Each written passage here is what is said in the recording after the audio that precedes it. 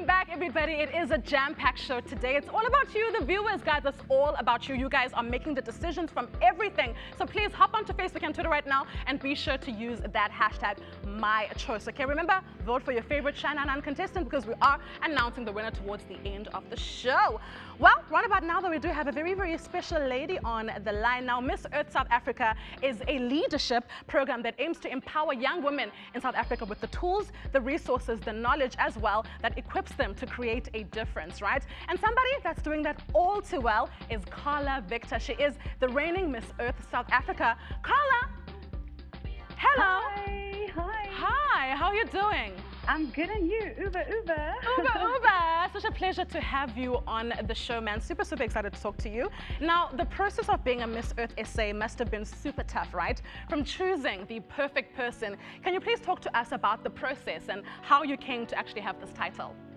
Well, as you said, Miss Earth is a leadership and empowerment program for young South African women. And Yeah. the whole premise behind it is to get as many girls from across South Africa involved in their communities. Yes. So Miss Earth South Africa is a six-month-long program where um, we go out into the community and we are involved in various projects, from greening initiatives to energy-efficient um, projects, as well as the social aspects of what is happening in our community. So it is a very strenuous program, but it is Yeah. absolutely worth it. Absolutely, absolutely. It's a beautiful, uh, you know, pageant because it, it helps us to be able to know how to sustain the environment, right? Can you please talk to us about some of the projects that you're currently busy with right now that are obviously aiming uh, to empower um, and obviously help us create a sustainable environment?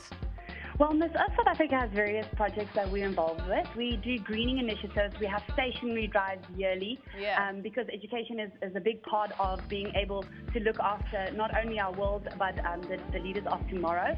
Um, we have waste management programs. We have energy efficiency programs. And my baby was the Big O2 Challenge, which was uh, a project where we got ultimately got 55 countries from around the world to raise Yeah. awareness ahead of the climate change conference in Paris last year. So it really is an array of projects that you can get involved with. Absolutely, and I think one of the biggest threats that we have right now in the country, in fact, the whole world, is climate change. We've all experienced it. How do we as young people educate ourselves further on how we can combat these kind of things, and what are some of the other threats um, that are out there? Well, as you said, climate change is really one of the biggest threats that we will face in our lifetime. Yeah. Um, if we do not look after what we are doing um, as individuals and what we are doing as a society, temperatures will continue to rise. We will see a change in rainfall patterns. There will be more droughts, more heat waves, and that ultimately not impacts only us, but food security and our, our economy. Um, this has definitely been one of the hottest years in South Africa in a very long time. And if you look at the water scarcities going on, um, glo- global warming and climate change really isn't a myth. So I always say, whatever you, what you can do is it starts with me and it starts with you. Um, there are so many little things that we can do Yeah. to just start and cl- to combat it. Absolutely. Thank you so, so much for that. Is there a website where we can keep updated in case maybe we want to assist or maybe help out?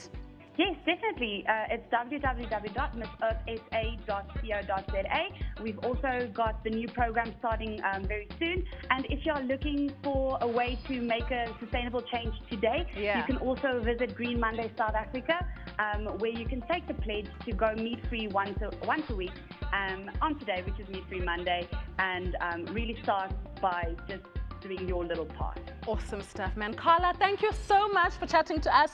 It has been a pleasure.